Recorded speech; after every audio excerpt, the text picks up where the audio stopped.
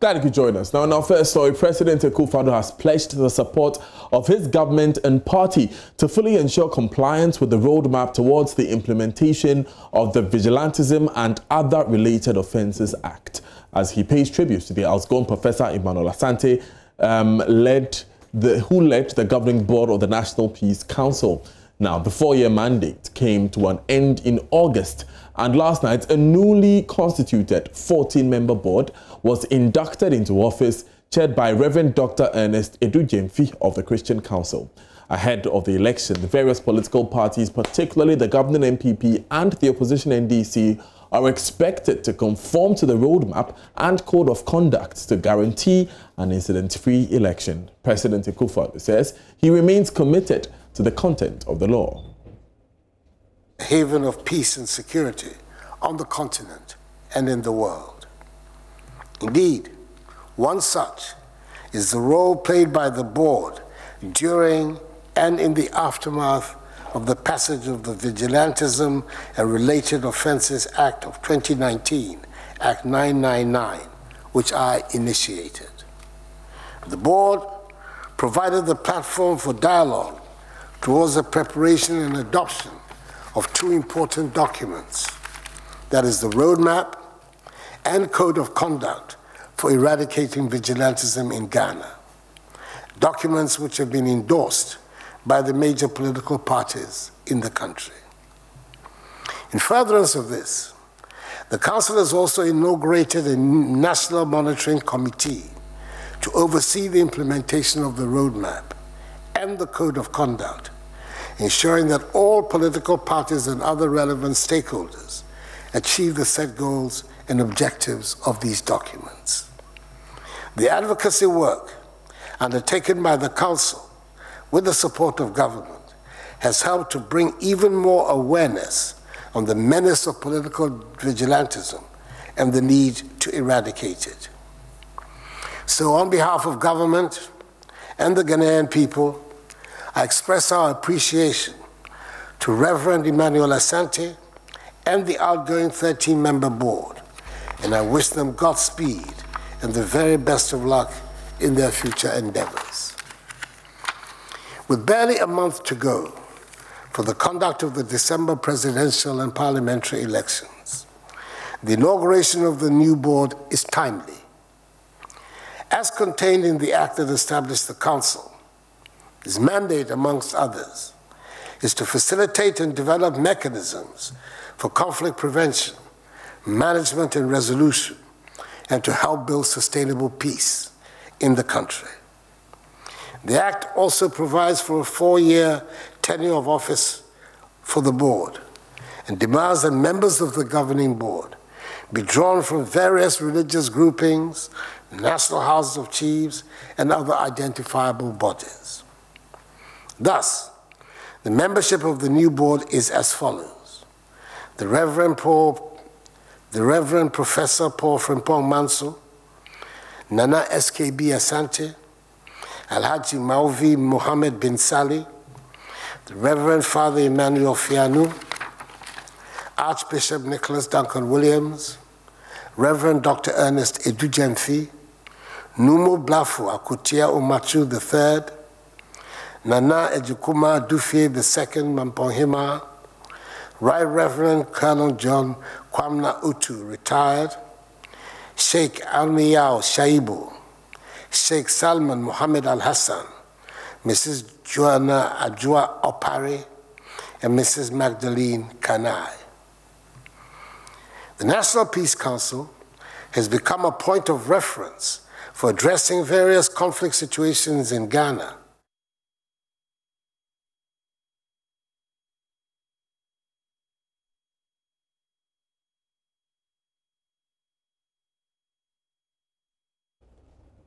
That's all live on Joy News today. Now, the president is meanwhile observing Remembrance Day, commemorating the anniversary of the armistice, which marked the end of World War I. Today, it is observed by all nations of the Commonwealth. Presidential correspondent Elton Brobbey joins us on the line for an update. Now, Elton, how did the president observe the day? So basically, just, just as it's happening across the world, President Akufo-Addo was at the Osu Cemetery to lay a, wreath on behalf of government to mark the Armistice Day, uh, which you know uh, was an armistice between the Allies and Germany at, at exactly 11 a.m. on 11th November 1918, the 11th hour of the 11th day of the 11th month. So this has become custom with Commonwealth nations. He was at Osu Cemetery to lay a wreath uh, on behalf of government to mark the end of the First World War. Uh, Daniel. Now, uh, we understand the president has a tall list of activities for the day. Uh, run us through a few of them. Well, it does appear that he's trying to, you know, uh, clear the decks of outstanding engagement before uh, he zoom uh, into the electioneering campaign proper. I'm told that this weekend, hopefully, uh, he will be on the ground to canvass for votes uh, for his second term re-election. So, as per what we have today, there are some ambassadors who have been assigned uh, to start their duty tour in Ghana. They are expected to present their letters of credence to the president. He will also be meeting with some traditional authorities, and just like it's become custom of some of these meetings, the traditional authority always have one concern or the other that they want government to tackle, and government will, will in return, uh, you know, assure them of, you know, it up to the expectations of them. So we have the Shama traditional authority and the Pulima traditional council all coming to meet the president between 2 and 3 p.m. And for those of you who are interested in football, the executives of Kumasi Asante also pay a courtesy call on the president at exactly 5 p.m. Daniel. Thank you very much, Elton John Brobbey, um, for bringing us those updates. Let's go to the camp of the NDC. Um, but before that, earlier, my colleague Bernice Abubedu Lansa spoke with the new chairman of the Peace Council, Reverend Dr. Ernest Edu Thank you very much, uh, um, and uh, for the felicitations. We're grateful to God for the opportunity to serve our country at this time of, of, of the history of this country. We don't have enough time uh, because the election is so close. Uh, currently, the uh, new board is meeting this morning, and we will be assessing the report that you've just uh, spoken about from the north we will look at the issues that are involved and also we'll be strategizing for the uh, election that is ahead of us. We haven't had reports on activities of vigilantes per se, but we've seen violence on peace walks and you know other incidents between the two main political parties. What is your strategy going into the elections in making sure we don't see uh, repetitions of these? Well, we still want to appeal to the political parties who signed this document uh, to do the best they can to adhere to what they've signed to. Um, if we sign a document and we don't stick to it and begin to move around and do our own thing, it doesn't help. And most people will turn back to the Peace Council to ask us, what can you do? I think that the political parties will have to express goodwill in terms of what they've signed to and do the best they can uh, to do these things. Uh, currently, we have uh, set up uh, several mediating committees around the country, about 16 of them in all the regions. And our goal is that wherever there are grievances, these reports will be picked up. The mediating teams will deal with these things and make sure that there is peace wherever uh, we are. Mistrust is at the heart of many election violence cases reported across the world and even in our sub-region. We've had political actors and even presidential candidates come out to speak about the posture of the Electoral Commission and how they feel about certain things being done. Well, I think that in the first place, uh, the parties must make use of the IPAC, which is the, the body that helps to mediate some of these things. And uh, I hope that the decisions that are taken at IPAC will be adhered to by all the political players. Sometimes it's interesting to note that in this field, the politicians can come to a meeting, sign to a document, agree to certain things, and as soon as they walk out of the meeting, they hold another press.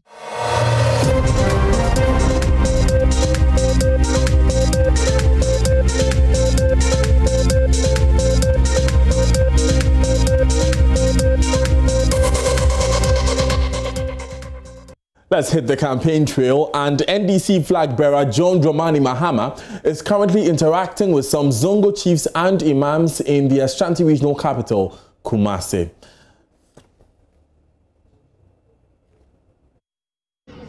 saa deɛ no a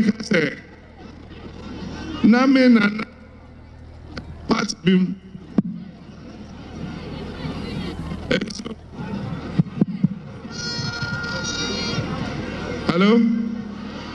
Saa deɛ no a ne yɛka sɛ o saa party me nana ka ɔka ho bi ɛna me papa nso ɛwɔ hɔ. Nti me metumi papa ɛma obiara party no. Hey felix check your audio. Ezu ɛ.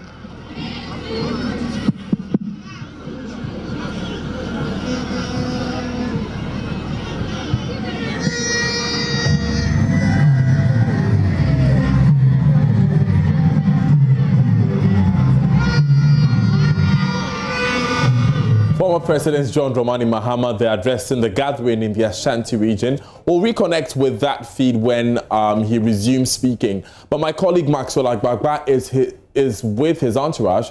Maxwell, we know you are yet to get to the regional capital, but tell us, what does the itinerary look like today? Well, so um, for today, uh, this is the first place the former president and the presidential candidate of the NDC will be visiting. We are at the Moshi Zongo School Park, where um, hundreds of NDC supporters um, have gathered and are listening um, to the um, former president as he um, addresses them. Um, earlier today, though, at the Golden Tulip Hotel, um, we saw um, the uh, former first lady and wife of the NDC presidential candidate, Lordina Mahama. Um, she was there at the hotel, um, and there she interacted with supporters of the NDC. Well, um, a lot of them were very excited um, to see her back on the campaign trail. Some of them we spoke to said um, there were quite a lot of conspiracy theories about her absence on the campaign field, and they are excited to see her back. Many of them took the opportunity to take pictures and all of that, you know, with her. But just some minutes ago, we are learning that she was actually in the Bono East region um, to campaign for the um, NDC. So um, she's heading back to Accra, but decided to pass um, by, um, stop at Kumasi and say hello to um, her husband, um, the Right. former president, Right. and the NDC presidential candidate. Right. So moving to Accra, Daniel. Right, thanks, Maxwell. Let's now take you back to the former president, John Mahama, as he addresses the gathering. ọmọ sọ ọmọ sọ m nọmọ ayẹ ebe si nnẹ moshi zongo bridge no saa na ẹteẹ na minim sẹ ẹyẹ ndc na ẹbẹ ẹbẹ abẹyẹ saa bridge na ama ezu ẹza ẹm sẹ sẹkin zongo kasa no wàmà mi dwuma ayẹ mmerẹ efisẹ nneọma a yɛayɛ wɔ ha nyinaa wabobɔ so na nea ɔwɔ kakra a ɔma wo no sɛ ɔnya kɛse a ɔbɛma wo neɛ saa yɛne nana asantene ne otumfoɔ yɛtena ase ɛne ɛse o. Ɛwɔ sɛ yɛpagya menhyia polyclinic no. Na yɛnyɛ no hospital prɛko nti yɛtu ho anammɔ yɛyɛ nkrataa no yɛyɛ drawings biribiaa ɛde to hɔ. Ɛnso yɛntumi anhyɛ ase ɛne ɛfiri aban mu. Nti ɛyɛ adeɛ a yɛba a saa menhyia polyclinic no yɛbɛpagya no na yɛ hospital prɛko. Sɛne ɛbɛyɛ a yɛapɔmɔde bɛtu mpɔ.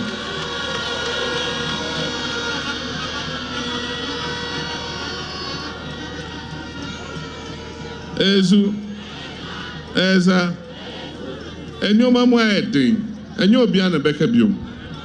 Yɛn nyinaa yɛhwɛ yɛabrabɔ ne yɛsetena yɛnim sɛ yɛte nka ɛɛ ahokyere ne ɛbrɛ ɛrekyekyere yɛn na sɛ wohwɛ ghana ha nyinaa yɛka sɛ center of business ɛne kumase. Ɛha na yɛdi dwa ɛha na business people wɔ na sɛ nneɛma nkɔ yi a ɔmo a ɔmo te ne first ɛne kumase foɔ ezu.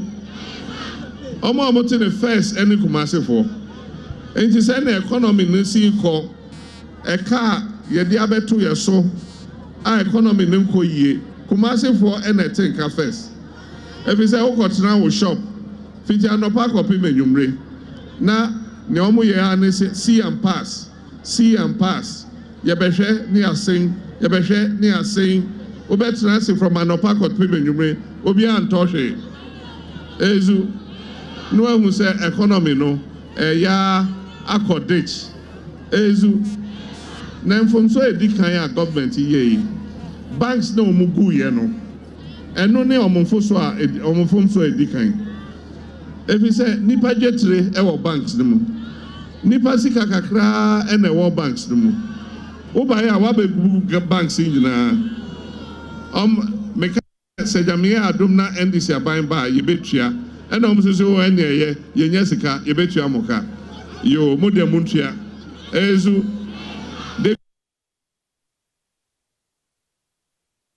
mo sɛ yɛnsa nya nkaa yɛ sika. Ɛyɛ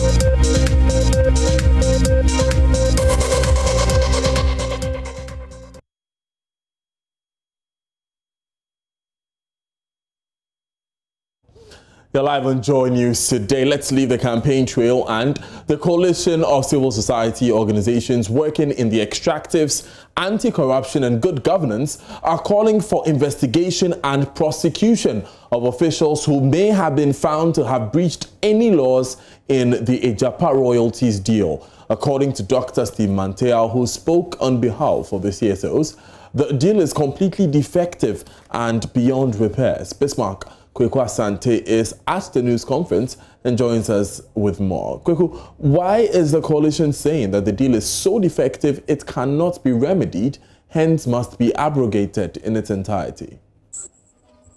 Well, Daniel, according to the coalition who have been against this deal from the start, they've been making some points that if you look at the deal, this deal effectively mortgages uh, royalties future for a long time. And so the president's idea that such a deal must go back to parliament, especially by virtue of the special prosecutor's findings of some apparent conflict of interest, among other things, it is their firm belief that this deal must be completely abrogated, it must be thrown away, and not something that we must be countenancing by sending it back to parliament. And so they are saying, for instance, that the NPP majority in parliament did not do a good job because, as we all know, the NDC minority walked out from the consideration of the bill, which was actually done under a certificate of urgency, certificate of urgency done within 24 hours. And so they think that this deal is defective in all levels and as such must be thrown out and not sent back to Parliament again, Daniel. Now, Bismarck, we know that the civil society organizations have taken issue with the finance minister's response to the OSP's risk assessment that you referred to. Uh, what have they been saying? Well, so one interesting thing, there have been calls by some sections of the society, including the National Democratic Congress, for the dismissal of the finance minister. The NEC says they do not agree that the finance minister must be sacked until a court of competent jurisdiction actually says that he is culpable or he has some criminal charges to face. And so they do not support that. But the special prosecutor made some findings which, in their perspectives, do not correlate with the response of the finance minister to the president. You will recall uh, that the finance minister actually sent a memo to the president, actually disagreeing with almost all the aspects of the, uh, the, the, the special prosecutor's report. And so he thought that he had been acting in good faith all throughout the transaction. That's a quote from the response or the memo that was sent by the finance minister to the president. But according to the civil society organization, if you look at some of the things that went on in the deal, for instance, this, the, the, the Imara, which is a South African company, which the special prosecutor said is a decoy for, uh, for, for data banking Ghana, which belongs to the finance minister. They believe that these are apparent conflict of interest issues that the finance minister cannot claim to have acted in good faith all throughout. And so they, they've been taking issue with some of those responses. And although they disagree with calls for his dismissal, they do not think that his response that he has acted in good faith all throughout right. is true. Mm. Thank you very much, Bismarck Kweku Asante, for joining us this afternoon with those updates away from Arrival Live. The Black Volta that passes through Buipe in the Savannah region is under heavy pollution. The pollution is choking nature's life and threatening the livelihood of hundreds of local fishermen. Some of them are forced to find other options because the number of fish caught per day is rapidly decreasing, contrary to the past, where many canoes paddled on the lake. One or two are now having trouble all day for little fish. Joy News' Mahmoud Mohammed Nuruddin visits Buipe and explains why the situation is worrying. Andrew has been fishing since childhood, but recent decline in catch is a cause for concern.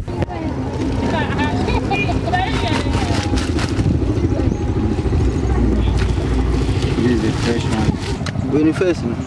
Yɛtumi nya ɔmo paa ɛwɔ ha but this time no wobɛbrɛ sɛdeɛ ɛpɛ ɔmo pɛ nsuo no ɔmo nya ne sa. Ansa na ɔmo bɛba nti ɔmo nsuo no wurawura no mu na ɔmo so anyway no nyinaa ɛhɔ na ɔmbɛnya aduane wei ne yɛ tilapia na wei yɛ super. Super. Super Every Monday is a market day, and Andrew could get about 2,000 cedis in a month. But then things started to change. In the past, I used to get every market day at least 5 million. But for now, this thing over here, it, it can't reach even uh, uh, 3 million. I have a wife and kids. So if I didn't get this uh, market day, this market day, I didn't get that, there's a problem. The children will not get food, my wife too, and myself. so I, anytime I have to force and get the one that you eat. Ibrahim Mohammed just got back from fishing down the river. One of his customers, Eunice Sekwe, is already waiting at the bank, but there was no good fishing for Ibrahim.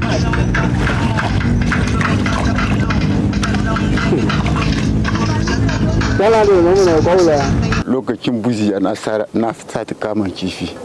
Hali yau na zo na kama kifi nan na zo na kai hali yau. Yanzu lokacin buji na muna samun kuɗi amma yanzu dai in ka in ka ka samu kifi na ma baka samu kuɗi ka gan kuɗi ba bai saya. In the past, we get more fish and we make a lot of money. But now the story has changed and we earn little such that we cannot afford our daily meals.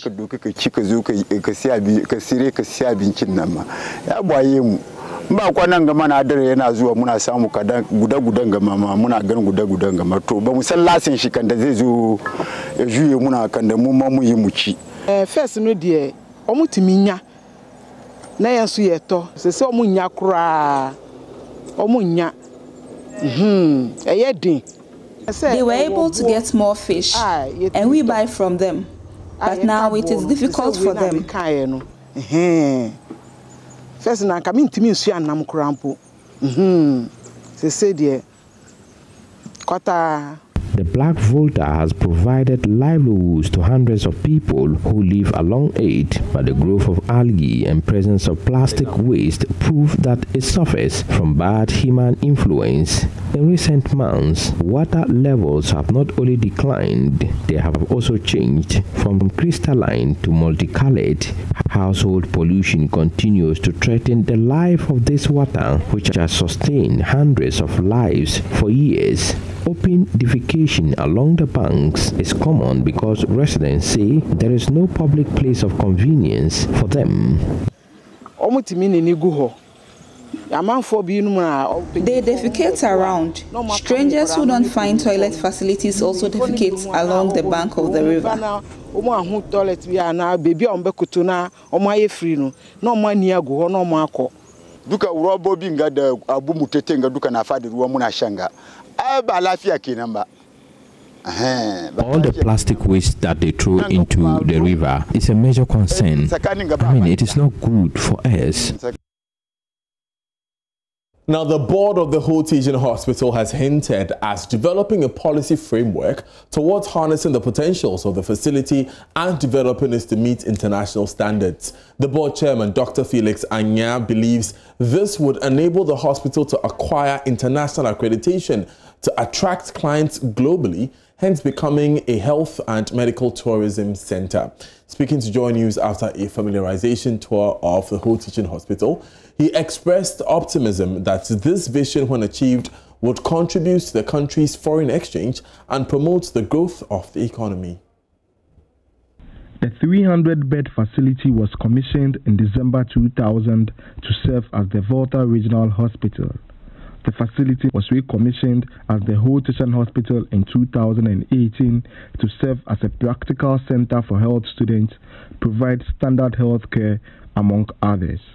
Nonetheless, the task to ensure the facility achieves its objectives rests on the shoulders of the governing board, chaired by Dr. Felix Anyah, a former acting CEO of the Korle Bu Teaching Hospital and director of the Holy Trinity Medical Center, Accra, and Holy Trinity Spa and Health Farm, Sogakope.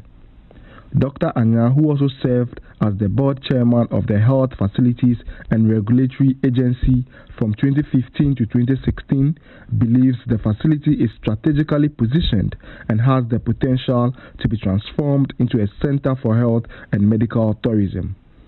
He indicated that the board seeks to develop the Ho Chi Hospital to suit international standards to enable it to attract clients from the West African sub-region. Unfortunately, if you look at most of the on the net, you don't really see health and medical tourism being reflected nationally. And it's been like that for some time, but I hope this will change. The position is huge and fair, but then it is the how to do it that has been the issue. And I believe that this position, I've been talking about this from 2006, and, I, and I'm sure that this is the time being in the position to direct, uh, to propose this as a policy framework, which should not be difficult. Now, the Food Sovereignty Platform says President Nana Addo Dankwa Akufo-Addo will be demonstrating that he does not have the interest of Ghanaian farmers at heart. Um, Daryl Kwao will give us more details of this when he joins us with business here on Joy News Today. Stay with us.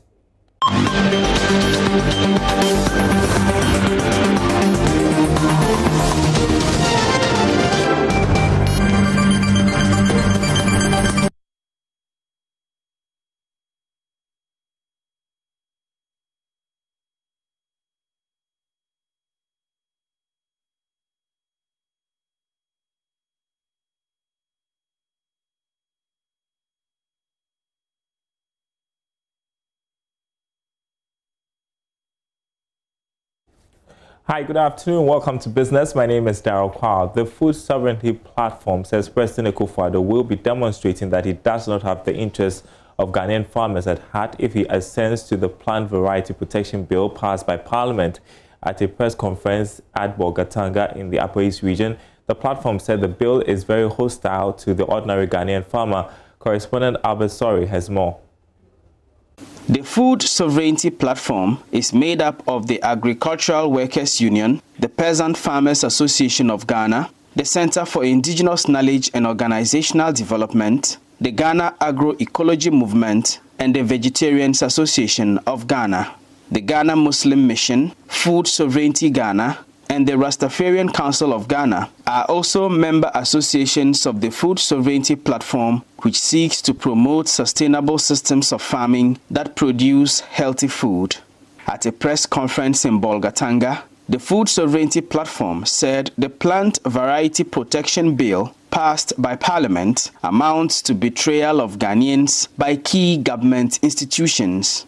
National President of the Peasant Farmers Association of Ghana, Abdul Rahman Mohammed addressed the press conference. It has come to the attention of the Food Sovereignty Platform that Parliament has read the Plant Variety Protection Bill formally referred to as to as Plant Breeders Bill 2020 for the third time and has subsequently passed it. In June this year, and uh, after brothers consultation, we formally wrote to the office of the president, the speaker of parliament and the registrar general department officially stating our position on the bill and gave five key reasons why the bill is not in the best interest of the country. These include the bill is hostile to small farmers in particularly and farmers generally. It does not allow farmers to sell and exchange seeds from so-called protected varieties. Thus, it is heavily tackled in favor of commercial breeders and undermines farmers' rights. He said the bill, if assented to by the president, will undermine Ghana's biodiversity and food sovereignty. Now, Finance Minister Ken Ofori-Atta has said that the 70 billion cedi Obaatanpa program launched by government will grow Ghana's private sector above peers in the sub-region. Many African countries are expected to mobilize some funds to support economic growth as the Continental Free Trade Agreement takes off next year. And the new program, according to the Finance Minister, is perfect intervention to spur economic growth. And, you know, we launched the uh, Ghana Cares Obaatanpa program um, so that we immediately get on the path of recovery. But as you see from the composite index, um, even though we had projected a 0.9% growth from 6.8, um, now we are quite sure that we'll be able to do about 2%. That is double what, what, what we started. Uh, inflation is being kept, our reserves uh, in a strong position. Um, so we're really feeling good about a, a, much faster recovery than we otherwise thought. Yeah? The Continental Free Trade Agreement, you did indicate that you need the private sector's support. Uh, now, yeah. on the part of government, how far have we got into when it comes to implementation? Well, I mean, as you know, I mean, officially it will be launched in January next year. Um, it's going to take some doing, you know, to, to sort of mobilize ours. But I think for us, the clarity is that it has given us a mandate um, for using Ghana as a regional continental hub, uh, given that the headquarters is here. Um, so the Obaatanpa program of Ghana Cares is looking at 70 billion of partnership with the private sector so that we can support um, Ghana being a financial services center, petroleum, logistics, education, etc., um, and manufacturing. And, and that's where we are. I, I think we're going to get um, uh, the benefit of, of being, you know, um, getting out of the blocks early, and, and that's the excitement for, for the future. All right, we've got a full bulletin of business news coming up at the top of the hour on the marketplace, including the latest inflation rate that's for the month of October, pegged at 10.1%. Up next, though, is sports. Stay tuned.